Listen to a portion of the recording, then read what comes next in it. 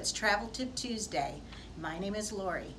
Today I want to talk about why you should cruise. 10 reasons to book a cruise. Now I know everyone has their feelings about cruises and some people have already decided that's not the vacation for them. But take a minute and listen to me today because I think you might learn some reasons why cruising might be the vacation for you. I personally love it and let me just share some of the reasons why. Number one, a cruise vacation is a good value. And what I mean by that is to include your food, your accommodations, your daytime and evening entertainment, and sometimes you'll see a lot of free promotions going with the sale of cruises. Just, uh, for example, uh, there was just a sale for free airfare if you booked a cruise to Hawaii. I mean, that's fabulous. Airfare to Hawaii is usually the bigger expense. A lot of times you'll see promotions where kids get to sail for free.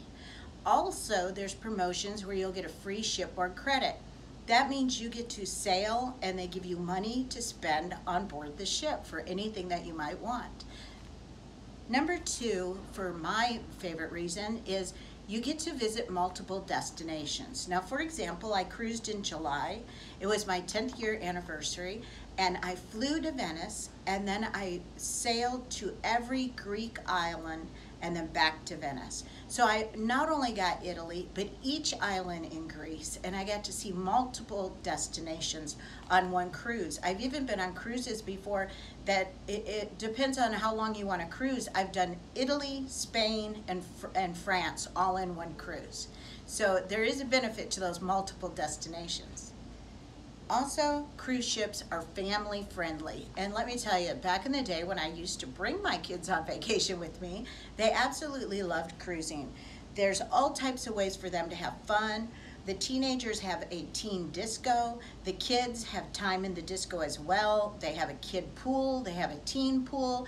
And I know if you have children, there's nothing like when they get to play in the same group that of their age with and especially teenagers it really makes their vacation more fun and cruises come in all shapes and sizes now let me explain that to you they have big oasis class ships like on royal caribbean that have rock climbing walls and on norwegian that has go-kart racing they have the the body surfing they have uh, amazing different actual different cities within one city.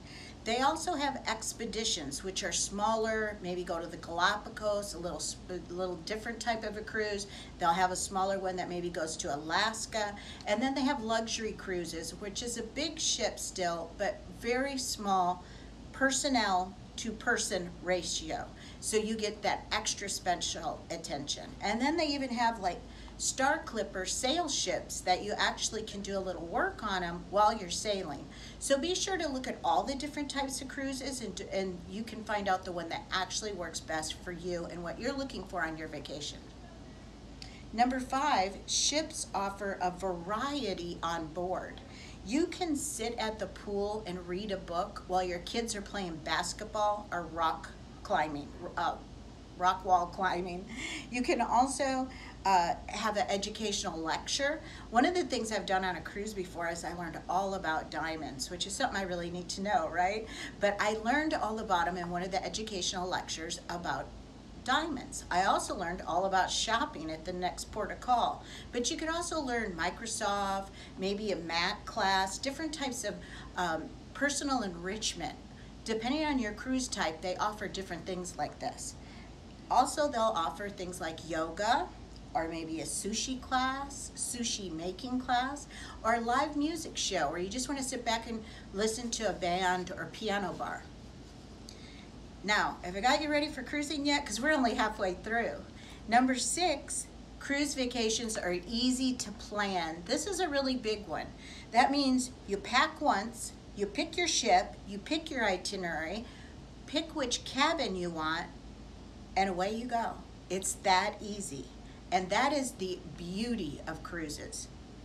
Group cruises also work very well. Like let's say you have a family reunion. It eliminates the hassle of coordinate, coordinating 20 family members to all get together, where they're gonna where they're gonna go, what city are we gonna meet. It's all together on one cruise ship, and there's lots of activities you can plan on board the ship to do together as well.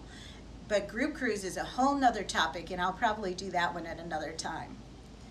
Number seven, ships are floating cities. I want you to realize you'll have Wi-Fi, TV, there's shopping, multiple restaurants, gym, and swimming pools. This is a city that's actually floating and you still get all the amenities as if you went to a destination visiting a particular city. But you get more destinations.